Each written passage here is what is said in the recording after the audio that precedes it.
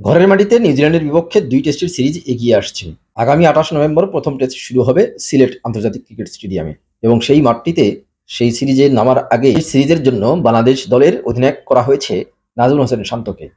যেহেতু লিটন কুমার দাস ছুটি নিয়েছেন, তারপরে সাকিব আল হাসান ইঞ্জুরির কারণে নেই, সেই কারণেই কিন্তু শান্ত প্রথমবারের মতো নেতৃত্ব দেওয়ার সুযোগ পেয়েছেন। তিনি- তিনি বাংলাদেশ দলের তেরোতম অধিনায়ক হিসেবে টেস্টের নেতৃত্ব দেবেন।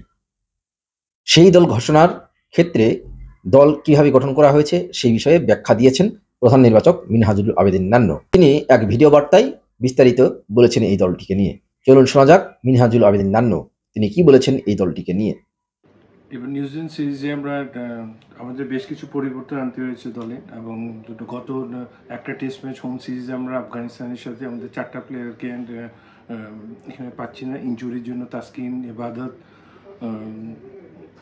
টিমে নেই এবং লিটন ছুটির জন্য নেই এবং একটা এক্সট্রা ফাস্ট বোলার হিসেবে মুশফিক হাসানকে আমরা অফ করেছি।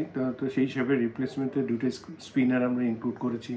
নাইম হাসানকে আবার এনেছি দলে এবং একদম নতুন হাসান মুরাদকে ইনক্লুড করেছি কারণ ওর, বিগত দুই বছরের এনসিএলে যথেষ্ট আমাদের ফার্স্ট ক্লাস ক্রিকেটে যথেষ্ট ভালো পারফর্ম করে এবং আমাদের হাই পারফরমেন্সে যথেষ্ট ভালো কাজ করেছে এবার এবং আমরা যথেষ্ট আশাবাদী সেই সুযোগ পায় এবং নিজেকে ভালো মতোই মেলে ধরতে পারবে।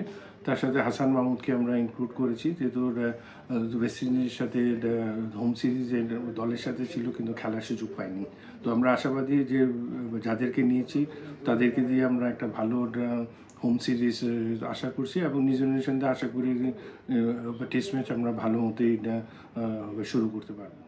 আমাদের টেস্টে নতুন ক্যাপ্টেন নাজমুল হোসেন নাজমুল হোসেন শান্ত এবং তার নেতৃত্বে আমরা অবশ্যই এটা জানার সুযোগ পেয়েছি পূর্ণ পূর্ণজনের স্কোয়াডে আশা করছি সারা সবাই রেসপন্সিবিলিটি নিয়ে খেললে নিউজিল্যান্ডের এই হোম সিরিজে আমরা একটা ভালো কিছু করতে পারব। এবং আমরা যথেষ্ট কনফিডেন্ট ইনশাল্লাহ আশা করি যে সবাই, সবার মতো করে নিজেকে মেলে ধরতে পারবে এবং ভালো কিছু আমরা আশার অপেক্ষায় আছি।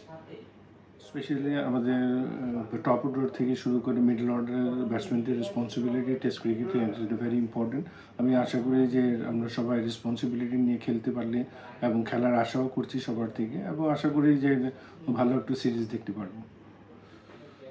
হ্যাঁ আমাদের ব্যাটসম্যানরা তাদের কাছে প্রত্যাশাটা বেশি, কারণ এবার ফার্স্ট ক্লাস সময় মতো শুরু হয়েছে এবং খেলোয়াড়রা যথেষ্ট সুযোগ পেয়েছে অনেকগুলি ম্যাচ খেলার ফার্স্ট ক্লাসে ফোর ডেজ ম্যাচগুলি তো আমি আশাবাদী মমিনুল ট্রেভেন্ডাস খেলেছে এনসিএলে এবং জয়, সবাই শ্রীলঙ্কাতে ফোর ডেজ ম্যাচ খেলে এসছে, এই এই রাউন্ডগুলিও খেলছে।